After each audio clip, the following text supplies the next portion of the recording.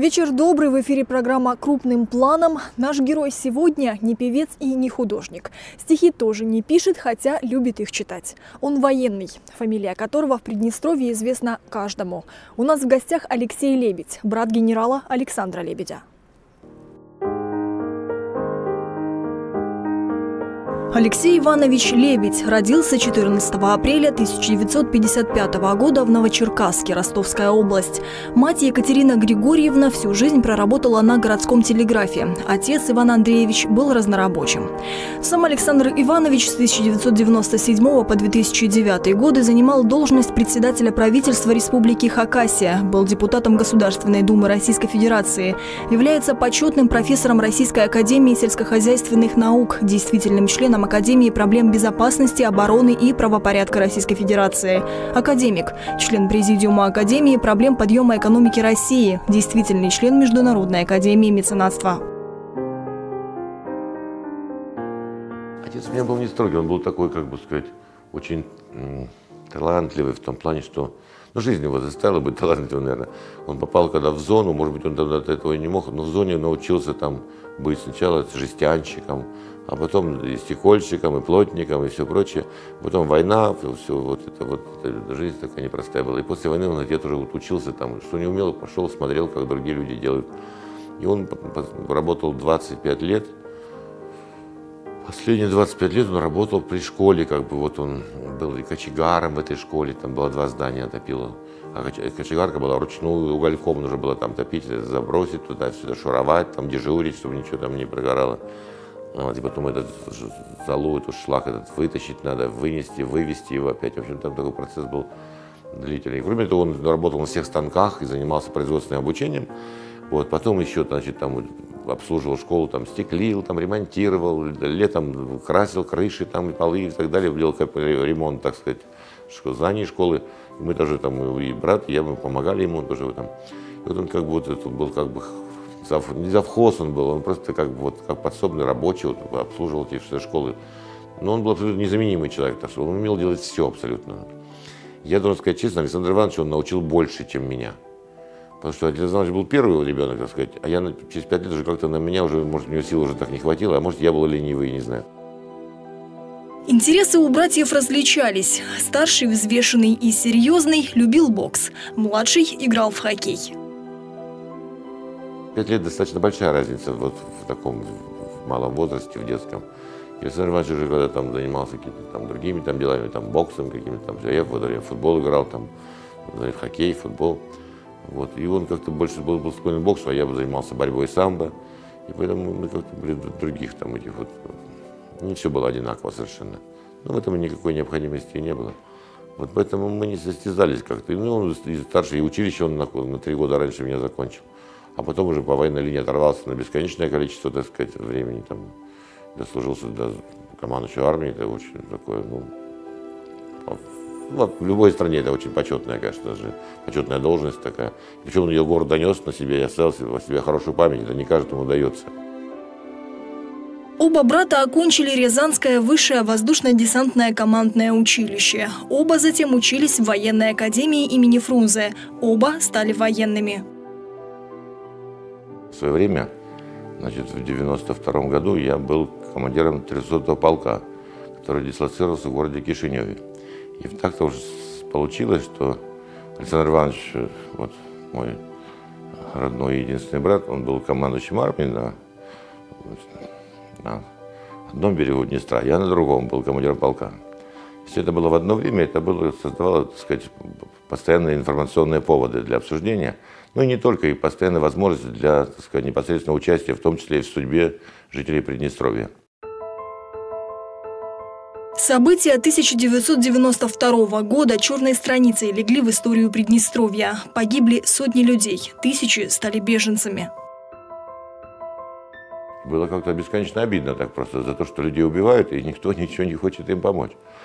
И тогда, конечно же, прежде всего офицеры вот в полку которые были, значит, выход из Приднестровья просто, да, таких было офицеров, наверное, человек 9. Которые, они пришли добровольцами, попросили отправить их в отпуск бессрочный. Я их отпустил, потому что, ну как я могу да не отпустить? И они вот буквально воевали, там, можно так сейчас сказать, наверное. Кто там был, там у Александра рядом, кто был в окопах. Остановить кровопролитие удалось благодаря поддержке российской армии, 14-й, командующим которой был генерал-лейтенант Лебедь. Он был для солдат авторитетом, батей, как многие его называли. Александра Лебедя не стало в 2002 году. В память о талантливом военном, личности, ставшей для Приднестровья культовой, в Бендерах в 2012 году установили памятник. Мне приятно, конечно, что, ну, что Александр Иванович, конечно, там сыграл эту решающую роль, конечно, это очень приятно. И приятно было еще тогда, когда вот мы были два года назад, были в Приднестровье, я был в частности, вот когда открывали бюст Александра Ивановича в Бендерах, и когда вот он был награжден, когда высшей наградой Приднестровской Молдавской Республики, значит, орденом Суворова первой степени – и тогда горсовет Бендер опять принял решение о том, чтобы его сделать почетным гражданином города Бендер. Но все это свалилось, так сказать, мне как брату, так сказать, вот как наследнику вот, на плечи. Ну, я быстренько как бы сообразил и передал это в дар вот, городу Бендеры, вот, чтобы хранилось в музее, чтобы это было достоянием людей.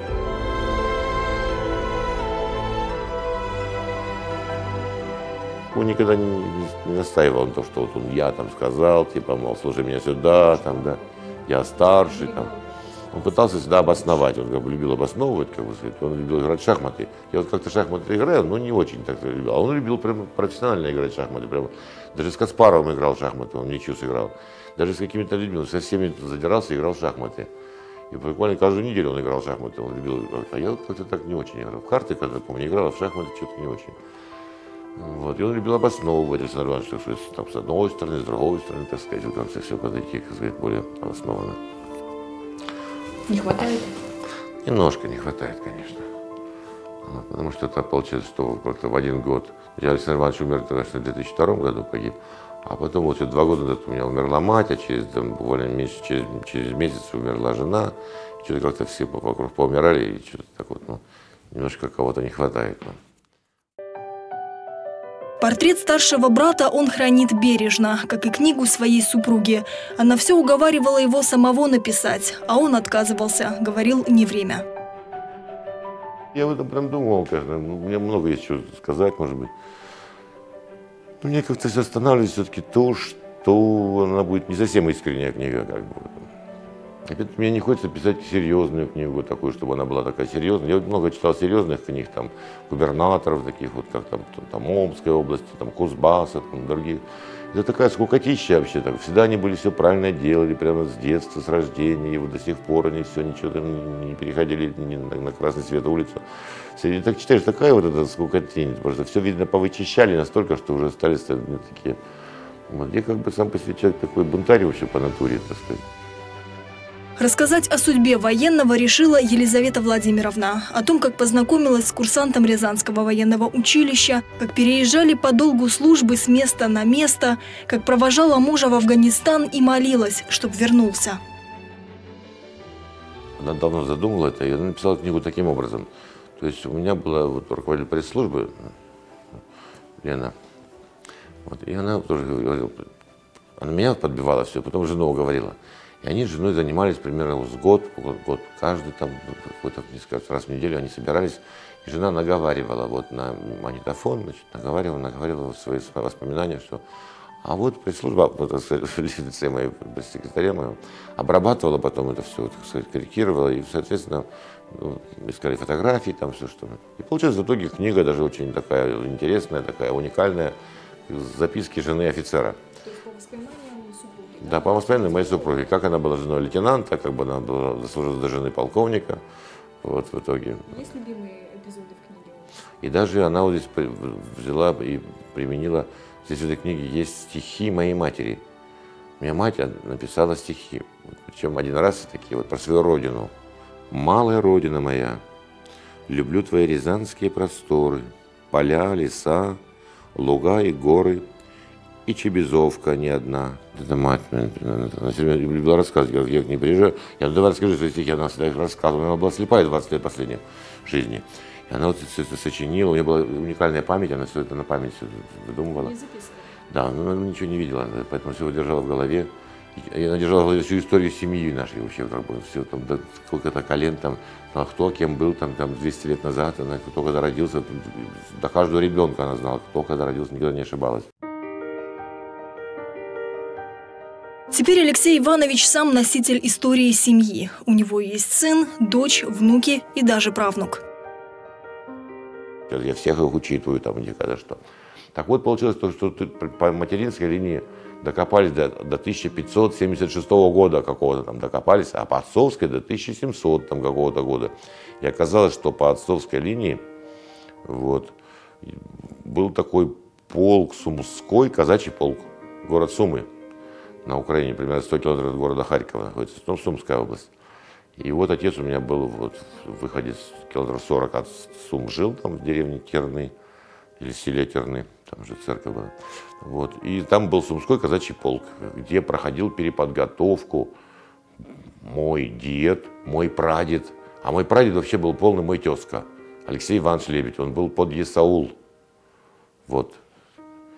вот. И он погиб в августе 1917 года под крепостью Карс, которая сейчас в Турции Карс, а раньше она была в составе Российской Федерации. И он погиб под этой крепостью, и мне донесли, вот нашли выписку из этих там журнала боевых действий, где он погиб Юрий Лебедь Алексей Иванович. И у него жена была Елизавета, как у меня, вот как на удивление вообще. Говорить в прошедшем времени о любимой женщине ему до сих пор сложно. Вспоминает, как читал ей стихи. Она любила. Я три дня и три ночи искал вашу мету, Ветер с севера сыпал каменной грудой, слава ему, пусть он даже не Петр, чернь его любит.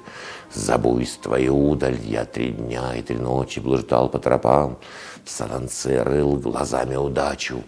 Ветер волосы мои, как солому, трепал и цепами дождей обмолачивал.